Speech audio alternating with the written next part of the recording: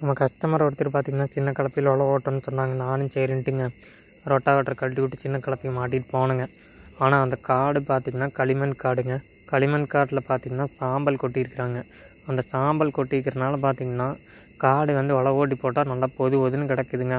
ஆனால் தண்ணின்னு கட்டிட்டாலோ இல்லை மழைன்னு பேஞ்சிட்டாலோ காடு பார்த்திங்கன்னா ஒரு மாதிரி சத்து பிடிச்ச மாதிரி ஆயிடுதுங்க என்னதான் உழவு ஓட்டினாலுமே வண்டி வந்து பார்த்திங்கன்னா வண்டி தான் நம்புதோ தவிர காடு அந்தளவுக்கு களைஞ்சி வர்றதில்லைங்க.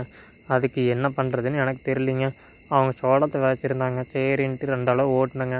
காடு ஃபுல்லாக பார்த்திங்கன்னா அரிசி பில்லாக இருந்ததுங்க. ஏதோ சின்ன பில்லாக இருக்க முடியும் கூட்டலிங்க.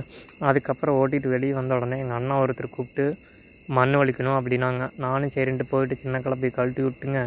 டெய்லரை மாட்டிட்டு போயிட்டுங்க. ஏர் செக் பண்ணிவிட்டு அங்கே போய் பார்த்தங்க ஒரு வண்டியுமே ஜேசிபி ஓடிட்டு இருந்தீங்க.